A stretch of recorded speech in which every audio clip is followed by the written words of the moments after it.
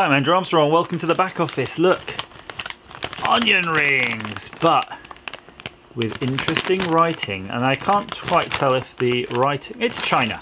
I think it's Chinese. It's made in China. Is this Chinese? Possibly. It's got an English label here of nutritions. Look at that, all those nutritions. But everything else appears to be Chinese. So the question is, the question on my lips and the question in yours should be, do these taste like the onion rings that we would normally get?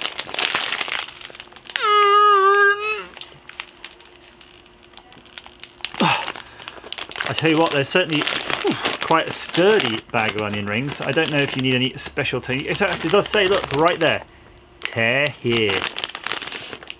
Oh, let me compose myself, get my breath back. I was actually, I'm not joking, I was really doing that. I wasn't putting it on. I'm to, oh, tear the corner off. I'm to part my schnoz right in. Mmm, smells good. Kind of anemic looking ones. They're not like the um, furry ones you get in Sainsbury's or Waitrose. Very pleasant. Mm. Yeah, I think these are a bit like the ones we uh, we can get here.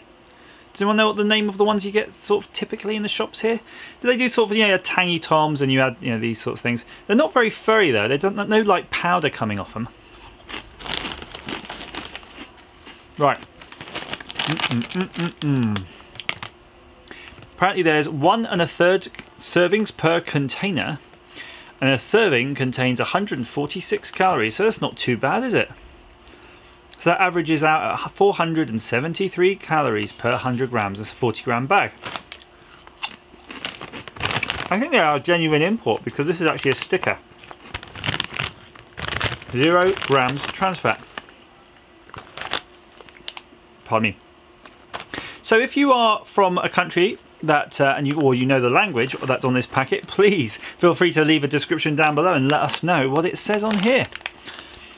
0% trans fat, onion rings. I recommend them. Delicious. Thanks for watching.